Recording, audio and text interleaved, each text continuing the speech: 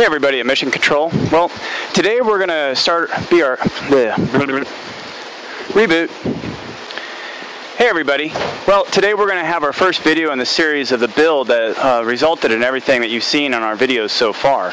Uh, we're actually going to go back, uh, back in time, way back, to when we actually did our very first experiment with aquaponics in our office. Uh, we just had an aquarium and we built a, a, bed and we put it all together and we figured out how to do everything that resulted in uh, everything that you've seen again on uh, the Real Martian channel. So without further ado, let's go back in time. You can see the colors are a little strange uh, for what I'm showing you and that's due to the LED light which is moving back and forth here on a motor system. I'm going to talk about that in a little bit, but that way, just wanted to tell you up front why it looks so weird. So anyway, um, what you're looking at here is our prototype aquaponics system. And aquaponics is the combination of hydroponics with aquaculture. You get those two words together and you get aquaponics. So you may know that hydroponics is growing things without dirt. So what you're looking at here is a grow bed that has a few vegetables in it, some broccoli and some other things that my wife has chosen that I don't really know the name of. And uh, they're growing with no dirt. The benefit of this is that you don't have any disease or rot. Um, you don't have to have a lot of land in order to grow. This can really help out with some of the world's food problems. And you get a lot better crop because you have really controlled capabilities such as your ammonia and pH and nitrogen levels, your temperature levels.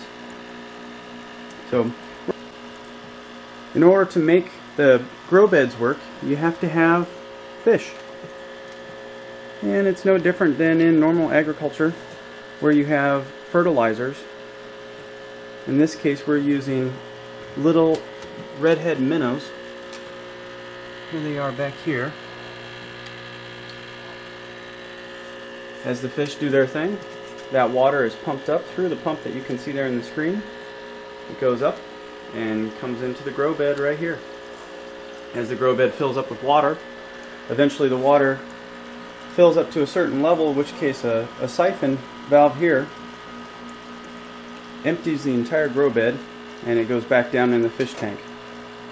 As that water gets into the grow bed, bacteria grow that convert the ammonia that comes out of the fish gills and the nitrogen uh, out of the fish feces, converts it into usable forms that the plants can then utilize as fertilizer, as nutrients.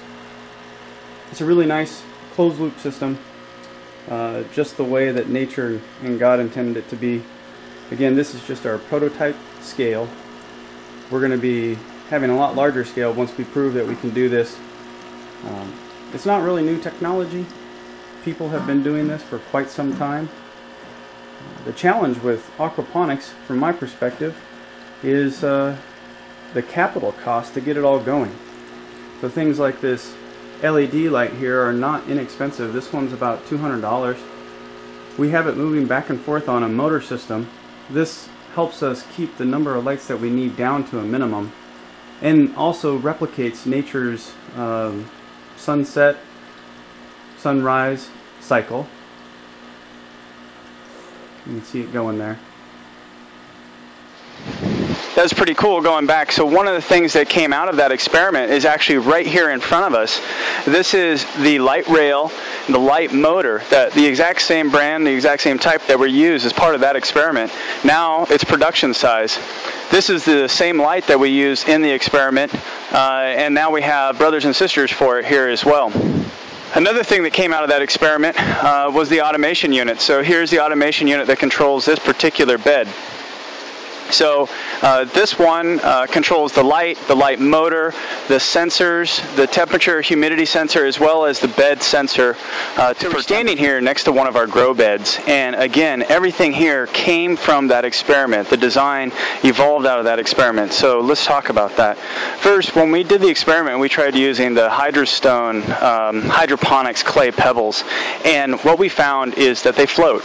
They're not supposed to, but they do a little bit. And what happens when you have have a, a bed, and we tried different bed types, like plastic was the one that we did in the experiment. The bed, as it fills with water, will expand. And as that expansion occurs, if the rock floats, the rock moves up. And then as the as the water goes down, the bed collapses and you get a pumping motion. And that pumping motion actually is kind of like a geological process on Earth or on Mars, where uh, stuff from the bottom of the bed was actually making its way up to the top because of this pumping motion. So, two things that we learned there. One, the structure of your aquaponics system has to be very rigid so that the pumping effect doesn't occur. And two, don't use the Hydroton stuff uh, for your entire bed media. You can use it on just the top. And the reason you want to do that is so the roots can easily spread what we've chosen to go with, we actually find it to be a better solution, is lava rock. Um, not pumice, so it doesn't float. This is lava rock. Uh, you can find it a pretty good deal. Uh, we got it from a supplier. I forget how many dollars per yard, uh, but this is the best value. Gravel and all that stuff. Um, if you use gravel, you risk getting um, your pH off because it could be acid or alkaline. Uh, there could be some lime inside of the gravel, so you have to be careful with that. But this lava rock is really good stuff. So we chose to go with lava rock, and again, everything here uh, came out of that experiment, including the Bell siphon. So the Bell siphon was a key piece of how we were going to drain the bed, and we still use that. Uh, no moving parts. It's completely passive, meaning it doesn't use any electricity.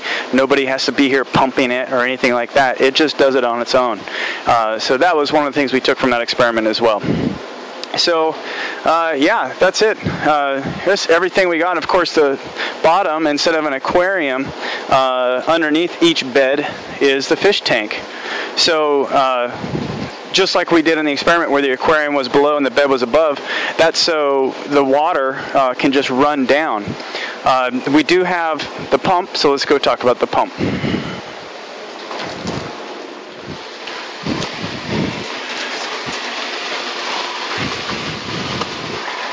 So here we are at Yield Pumping Station, and just like in the experiment, we had an aquarium pump that takes water from the fish tank and then distributes it throughout the entire system. Uh, just like in the experiment, we have um, a jet that's inside of the tank made from this pump that actually creates a current inside of the fish tank so that the fish can swim against the current and get some exercise. It keeps them a lot healthier, makes for a better meat.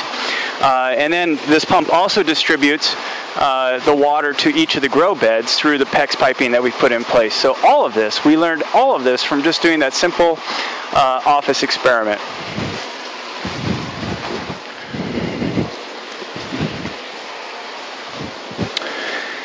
So there we are. Uh, we've gone from an experiment inside of the office to everything that's out here. And it's actually quite amazing how much you can learn from doing small scale experiments like that. And one of the things I have come to appreciate about aquaponics is that it really does scale very, very well. And, and principles that you learn at the small level, like what we did in the office, uh, totally apply to the big level as well uh, including evaporation, I might add. That was a problem we had in the office, and we have that same challenge out here. That's why we have a dehumidifier.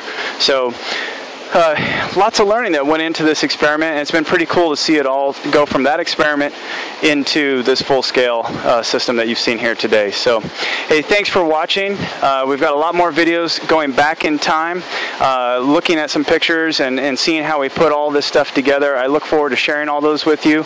I really appreciate all the constructive feedback. I hope that this stuff is inspirational and helping give you guys ideas um, and showing you how we've done things. And, and of course, our mistakes will help you not make those mistakes. So I'm plenty happy to share those as well so that you can be successful in your journey. Thanks for tuning in. If you liked this video, be sure to give it a thumbs up and please subscribe if you'd like to support us. This is a Real Martian. God bless you. Take care.